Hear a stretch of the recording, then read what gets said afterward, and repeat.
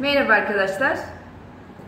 Güzel bir cumartesi gününden hepinize merhaba. Daha önce söylemişimdir. Cumartesi günlerini ben çok severim. Şimdi cumartesi günleri biliyorsunuz daha önce bir ritüel vermiştim. Bugün de bana çok gelen bir sorunun bir cevabını yine bir çalışmayla vermek istiyorum. Bazı arkadaşlarımız kararsız. Bazı arkadaşlarımız belli bir konuda karar vermekte zorlanıyor. Yani ne yapsam, bu yola mı gitsem, bu yola mı gitsem? Acaba hangi yol benim için daha hayırlı diyorlar.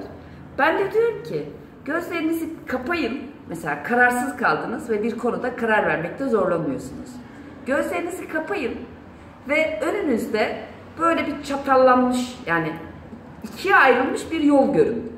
Gözlerinizi kapadıktan sonra kendi kendinize şöyle bir yine dünkü gibi sembolik bir şey verin. Mesela ben dün bir beyaz güvercin kullanmıştım. Yine ben beyaz güvercin kullanmaya devam ediyorum.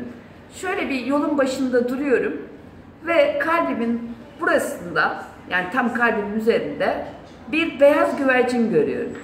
Sonra güvercini bir bırakıyorum. Bakayım nereye gidiyor. Güvercin ya sağa uçuyor ya sola uçuyor. Fark etmez. Sadece bir nereye doğru uçtuğunu bir görün. Ondan sonra gözlerinizi kapayın. İlk önce soldaki yola doğru bir gidin. Yani birinci yola doğru bir gidin. Mecazi olarak ama 3-4 adımda atın. Yani 2-3 adım attıktan sonra orada bir durun ve oradaki titreşiminize bir bakın. Ne hissediyorsunuz? Yani varsayalım ki birinci kararı uyguladınız ya da o birinci seçeneği tercih ettiniz. 3-4 adım atın ve oradaki hisse odaklanın. Ne hissediyorsunuz? Ben bu seçeneği seçtiğimde acaba ne yaşayacağım? Bunu bir hissetmeye çalışın. Sonra 3-4 adım geri gelin başlangıç noktasına. Bu defa sağdaki yola doğru gidin. Yani ikinci yola. Tekrar oraya doğru bir gidin. Ve bu defa yine eğer o seçeneği tercih etseniz orada ne hissedeceksiniz? Bir de ona bir bakın. Bu yolu seçmiş olsam acaba ne hissederdim? Sanki olmuş ve onu yaşıyormuşsunuz gibi oradaki titreşimi, duyguyu yakalamaya çalışın. Ondan sonra ondan sonra tekrar başlangıç noktasına gelin ve derin bir nefes alın. Ondan sonra gözlerinizi bir açın.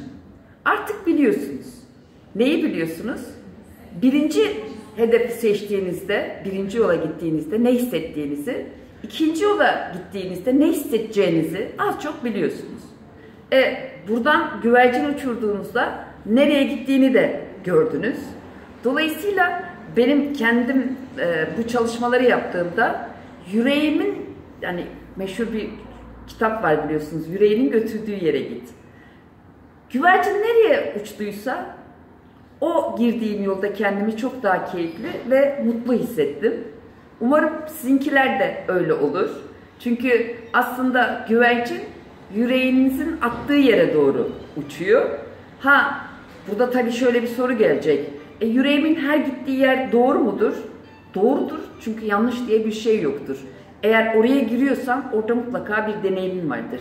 Deneyimin iyiliğinden kötülüğünden bahsetmiyorum. Ama orada bir deneyimin vardır. Dolayısıyla kararsız kaldığınızda iki yola hangisine gideceğim diye düşündüğünüzde iki yola da girin, 3-4 adım atın ve onun titreşimini hissetmeye çalışın arkadaşlar. Ben bunu çok kullanırım, çok da işime yarar. Her zaman da böyle doğru seçeneği bana getirmiştir çok şükür. Evet, güzel bir cumartesi olsun. Sevgiyle kalın, sağlıkla kalın. Görüşmek üzere.